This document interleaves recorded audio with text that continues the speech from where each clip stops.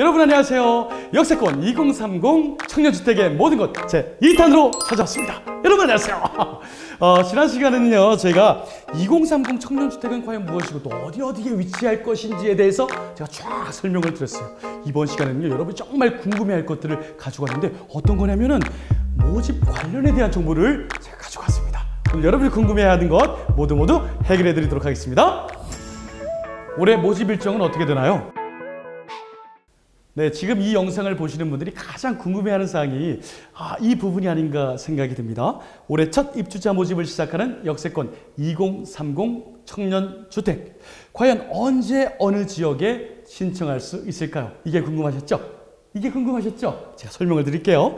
올해에는요, 7월 강변역을 시작으로 충정로역, 장안평역, 합정역, 화곡역 등에서 입주자를 모집할 계획입니다.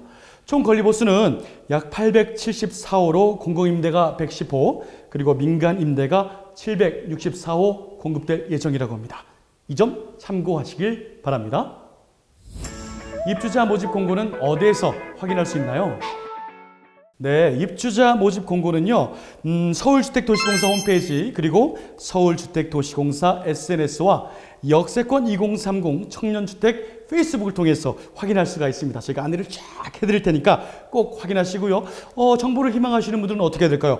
해당 채널을 열심히 구독, 구독하시면 되겠습니다. 역세권 2030 청년주택 신청 요건은 어떻게 되나요? 네, 신청 요건을 알아보도록 하겠습니다. 음, 대학생, 청년, 신혼부부 이렇게 계층이 나누는데요.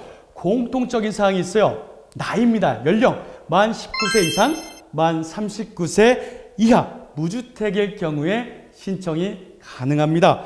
어, 또한 참고로요. 역세권 2030 청년주택은 모집 시에 두 가지 유형으로 신청이 가능한데요. 첫 번째는 공공임대주택, 두 번째는 공공지원 민간임대 이렇게 두 가지 유형으로 나뉘어집니다. 모집 공고에서 이 중에 하나 한 가지를 선택하셔서 신청을 하시면 되겠습니다. 당첨에 유리한 우선순위도 있나요? 세부적인 기준에 대해서는 추후 입주자 공고문을 확인하는 게 더욱더 정확할 것 같습니다. 한 가지 제가 말씀드릴 수 있는 것은요. 바로 이 점인데요. 해당 자치구 거주 기간이나 근무지 가산점은 별도로 없다는 것입니다. 행복주택 신청자들도 역세권 2030 청년주택에 신청할 수가 있나요? 그럼요, 신청할 수가 있습니다. 행복주택 신청자분들도 역세권 2030 청년주택에 또 신청할 수가 있는데요. 그런데 두 집에서 못 살잖아요.